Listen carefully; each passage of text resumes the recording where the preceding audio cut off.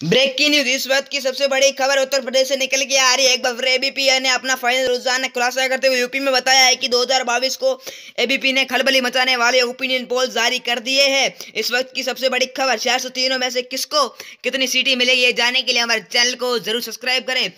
और आपको बता दें, अगली खबर अलीगढ़ से निकल के आ रही है। अलीगढ़ अलीगढ़ में कुल सात सीटें और बीजेपी को तीन सीटें, एसपी को तीन और बीएसपी को एक। अभी तक कांग्रेस का अभी तक अलीगढ़ में खाता नहीं खुला है। अगली खबर हरदोई से निकल के आ रही है। वहाँ पे आठ सीटें हैं कुल और बीजेपी को तीन, एसपी को पाँच और कांग्रेस की अभी तक यहाँ भी खाना नहीं खुटा है। और अगली खबर रामपुर से निकल के आ रही है। रामपुर में कुल पाँच सीटें और बीजेपी को एक और एसपी को चार मिली है और यहाँ भी कांग्रेस का अभी तक खाता नहीं खुला है। और दोस्तों, अगली खबर फकरूदाबाद से निकल के आ रही है। यहाँ पे कुल चार सीटें और बीजेपी को एक, एसपी को दो और बीएसपी को एक। यहाँ भी कांग्रेस का अभी तक खाता नहीं खुला है अगली खबर, सीतापुर से निकल के आ रही है। यहाँ पे कुल नौ सीटें हैं बीजेपी को दो, एसपी को पाँच और बीएसपी को दो। यहाँ भी अभी तक कांग्रेस का खाता नहीं खुला है। कानपुर, देहात, यहाँ से चार सीटें और बीजेपी को दो और एसपी को दो सीटें मिली है। अगली खबर प्रयागराज से आ रही है। प्रयागराज में बारह सीटें और बे, दो सीटें बीजेपी और आठ एसपी को मिली है और अगली एक खबर बलरामपुर से आ रही है। यहाँ पे बीजेपी को एक, एसपी को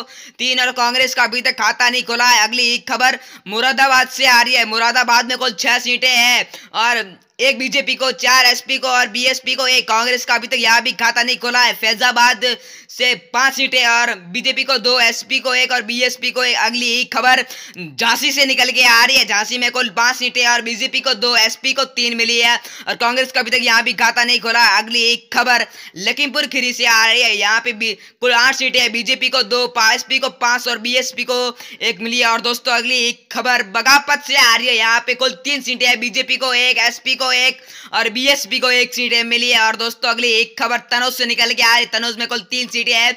बीजेपी को एक और एसपी को भी एक, दो मिली है। और दोस्तों, अगली एक खबर, अयोध्या से निकल के आ रही है। यहाँ पे बीजेपी को एक और एसपी को चार सीटें मिली है। जय हिंद।